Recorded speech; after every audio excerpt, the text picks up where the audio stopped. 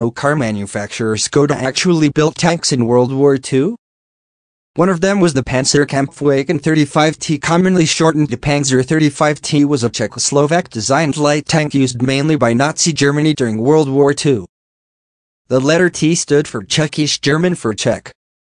In Czechoslovak service it had the designation Lehký tank Vzor 35 or Light Tank Model 35, but was commonly referred to as the LTVZ 35 or LT 35, O car manufacturer.